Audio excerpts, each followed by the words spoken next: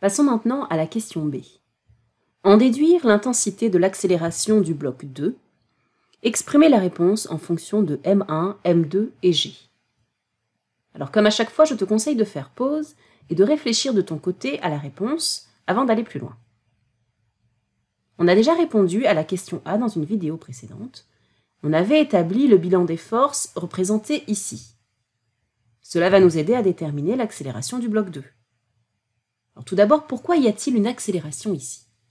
On sait que le bloc 2 descend nécessairement car il est de masse supérieure au bloc 1, donc son poids est supérieur également. Comme une corde relie les deux blocs, le bloc 2 va descendre, tandis que le bloc 1 va monter. On peut aussi se dire que le poids du bloc 2 est supérieur à la tension de la corde dirigée vers le haut, tandis que le poids du bloc 1 est inférieur à la tension dirigée vers le haut. Donc à gauche, on va avoir une accélération dirigée vers le haut, et à droite, une accélération dirigée vers le bas. Et ce qui va t'aider à résoudre ce problème, c'est de te rendre compte que l'amplitude, l'intensité de l'accélération sera la même pour chacun des blocs, du fait de la corde qui les relie. Le bloc 2 descend avec la même accélération que le bloc 1 lorsqu'il remonte. On peut ainsi représenter l'accélération sous ce schéma. Je vais la dessiner légèrement à droite du point. Elle a une norme A et elle est dirigée vers le bas. Ici à gauche, elle a aussi une norme A, mais est dirigée vers le haut. Si tu lis bien, on nous demande d'en déduire l'intensité de l'accélération du bloc 2. Alors on va appliquer la deuxième loi de Newton suivant l'axe vertical, car ici on s'intéresse au mouvement vertical. En effet, toutes les forces sont orientées verticalement.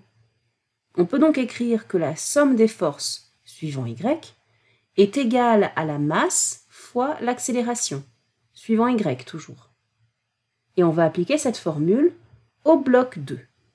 Alors pour le bloc 2, comme on veut déterminer A, on va dire que le sens positif vertical est vers le bas. Donc la somme des forces exercées sur le bloc A, suivant la verticale, est le poids, qui est positif car dirigé vers le bas, moins la tension, qui est négative car dirigée vers le haut.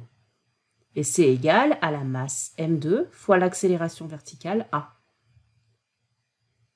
On pourrait diviser ici de chaque côté par m2, mais ça ne nous aiderait pas trop car on aurait l'accélération en fonction de g, de t et de m2. Sauf qu'on ne connaît pas t. On veut plutôt qu'il y ait m1 dans cette expression. Or, cette tension T est exercée aussi sur la masse M1. Eh bien, appliquons la deuxième loi de Newton au bloc 1. Et cela va peut-être nous aider. Donc pour le bloc 1, donc bloc 1, on a, on a l'accélération qui est de même amplitude que pour le bloc 2. Mais elle est dirigée vers le haut cette fois. Donc on va définir maintenant le sens positif vers le haut, donc dans le sens de l'accélération. Ce qui nous donne T, donc la tension qui est dirigée vers le haut, donc positif, moins M1G, donc le poids qui est négatif car dirigé vers le bas, qui est égal à M1 fois A. Et c'est le même A ici, ainsi que le même T. Du coup, on a un système de deux équations à deux inconnus. Et on peut résoudre pour trouver A. Alors on va faire disparaître T. Pour ça, ben, on peut tout simplement faire la somme des deux équations. On peut ajouter les deux côtés droits et on garde l'égalité si on ajoute aussi les deux côtés gauche. Ce qui nous donne M2G moins T et T s'annulent. Il nous reste moins M1G, qui sera égal à la somme des deux côtés droits, c'est-à-dire M2A plus M1A. Alors à gauche, on peut mettre G en facteur, et à droite, on peut mettre A en facteur. On obtient M2 moins M1 fois G, qui est égal à m2 plus m1 fois a. Si on divise des deux côtés par m2 plus m1, on obtient que a est égal à m2 moins m1 divisé par m2 plus m1, le tout multiplié par g. On a donc bien exprimé a en fonction de m1, m2 et g. Et cette intensité est la même pour le bloc 1 ou le bloc 2. La seule différence est le sens de l'accélération. Le bloc 1 accélère vers le haut et le bloc 2 accélère vers le bas. Alors, tu te dis peut-être qu'il y avait une méthode plus simple pour arriver à ce résultat. Moi ici, je suis parti de ces deux bilans de force, ce qui a fait apparaître la tension. Eh bien, on aurait aussi pu considérer un seul système composé du bloc 1, du bloc 2 et de l'ensemble corps de poulie.